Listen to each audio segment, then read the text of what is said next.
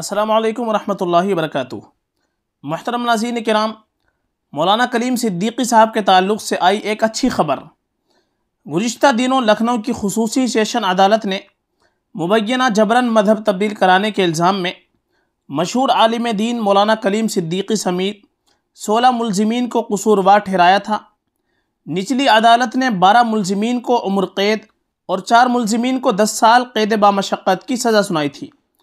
نچلی عدالت فیصلے کو ملزم عرفان شیخ نے لکھنؤ ہائی کورٹ میں چیلنج کر دیا ہے۔ نچلی عدالت کے فیصلے کے خلاف داخل اپیل پر گزشتہ کل لکھنؤ ہائی کورٹ کی دو رکنی بینچ کے روبرو سماعت عمل میں آئی، جس کے دوران عرفان خان کے دفاع میں جمعیت علماء مہاراشٹر، ارشد مدنی، قانونی امداد کمیٹی کی جانب senior advocate O P Tiwari اور ایڈوکیٹ فرقان پٹھان پیش ہوئے۔ خصوصی سیشن عدالت سے سزا پانے والے ملزمین میں سے عرفان شیخ پہلا ملزم ہے، جس نے نچلی عدالت کے فیصلے کو ہائی کورٹ میں چیلنج کیا ہے۔ دوران سماعت دو رکنی بینچ کے جسٹس عطاء الرحمن مسعودی اور جسٹس اجے کمار سریواستو کو ایڈوکیٹ او پی تیواری نے بتایا کہ نچلی عدالت نے عرض گزار کو ناکافی ثبوت اور شواہد موجود ہونے کے باوجود عمر قید کی سزا سنائی ہے، جس پر نظر ثانی کی ضرورت ہے۔ ایڈوکیٹ او پی تیواری نے عدالت کو مزید بتایا کہ جن دفعات کے تحت نچلی عدالت نے عرض گزار اور دیگر ملزمین کو عمر قید کی سزا سنائی ہے، اس کا اطلاق ہوتا ہی نہیں۔ ایڈوکیٹ او پی تیواری نے عدالت کو مزید بتایا کہ اس مقدمے کی بنیاد ہی غیر آئینی ہے۔ لہذا ملزمین کو سزا دینے والے نچلی عدالت کے فیصلے کو مسترد کر دینا چاہیے۔ ایڈوکیٹ او پی تیواری کے دلائل کی سماعت کے بعد دو رکنی بینچ نے استغاثہ کو نوٹس جاری کیا اور پانچ ہفتے کے اندر اپنا اعتراض داخل کرنے کا حکم دیا۔ ریاستی حکومت کی نمائندگی کرتے ہوئے ایڈیشنل ایڈوکیٹ جنرل نے عدالت سے عرض گزار کی اپیل پر اعتراض داخل کرنے کے لیے آٹھ ہفتوں کا وقت طلب کیا تھا، جس پر ایڈوکیٹ او پی تیواری نے اعتراض کرتے ہوئے عدالت کو بتایا کہ عرض گزار دوران ٹرائل ضمانت پر تھا۔ لیکن نچلی عدالت کا فیصلہ آنے کے بعد اسے جیل واپس جانا پڑا۔ لہذا عرض گزار کی اپیل اور ضمانت کی عرضداشت پر جلد از جلد سماعت کی جائے۔ دو رکنی بینچ نے استغاثہ کو نوٹس جاری کرنے کے ساتھ ساتھ ٹرائل کورٹ کا ریکارڈ بھی طلب کر لیا ہے اور مقدمے کی سماعت نومبر کے ماہ میں کیے جانے کا حکم جاری کیا۔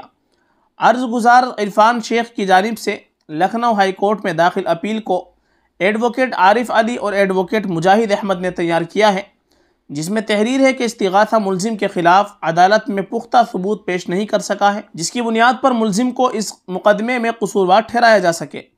اس مقدمے میں استغاثہ نے ملزمین کے خلاف گواہی دینے کے لیے چوبیس سرکاری گواہوں کو پیش کیا، جس میں چیف تفتیشی افسر کی گواہی بھی شامل ہے، لیکن ان تمام گواہان کی گواہی قانون پختہ نہیں ہے۔ اس کے باوجود ٹرائل کورٹ نے ملزم کو عمر قید کی سزا سنا دی، جس پر نظر ثانی کی ضرورت ہے۔ عرض داشت میں مزید تحریر ہے کہ ملزم عرفان اور دیگر ملزمین کے خلاف گواہی دینے والے گواہان کے بیانات میں کھلا تضاد ہے۔ گواہان نے عدالت میں پہلی مرتبہ ملزم عرفان کے دیگر ملزمین کے ساتھ تعلق کا ذکر کیا تھا۔ ملزم عرفان کی گرفتاری ہی مشکوک ہے، کیونکہ ملزم عرفان کا نام ایف آئی آر میں درج ہی نہیں کیا گیا تھا۔ بلکہ بعد میں اسے دیگر ملزمین کے بیانات کی روشنی میں گرفتار کر لیا گیا۔ عرض داشت میں مزید تحریر ہے کہ گواہ استغاثہ لکشمی گپتا اور آدتیہ گپتا نے دو ہزار بیس میں اسلام قبول کیا تھا، جبکہ Uttar Pradesh prohibition of unlawful conversion of religion قانون دو ہزار اکیس میں بنا تھا۔ لہذا اس قانون کا اطلاق اس مقدمے پر ہوتا ہی نہیں۔ نیز اس قانون کے مطابق متاثر یا اس کے رشتہ دار ایف آئی آر درج کرا سکتے ہیں۔ لیکن موجودہ مقدمے میں Vinod Kumar A T S افسر نے شکایت درج کرائی ہے، جس کی بنیاد پر ملزمین کے خلاف مقدمہ قائم کیا گیا، جو غیر قانونی ہے۔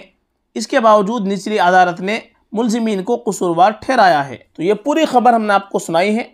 اس پوری خبر سے یہ نتیجہ سامنے آیا ہے کہ انشاءاللہ مولانا کلیم صدیقی صاحب کو جو اوپر کی عدالت ہے، اس کے ذریعے سے انشاءاللہ انصاف ملے گا اور ان کی انشاءاللہ جلد رہائی ہو جائے گی۔